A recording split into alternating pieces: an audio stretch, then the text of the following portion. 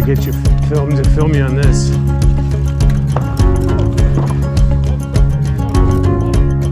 Sure, since I'm filming.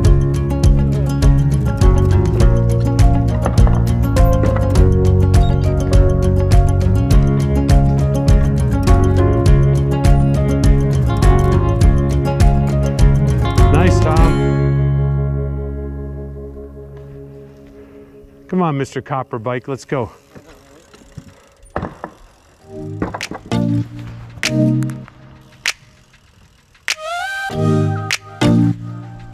I got it in reverse nice the other day. Yeah, yeah, it's loose. It's always done that.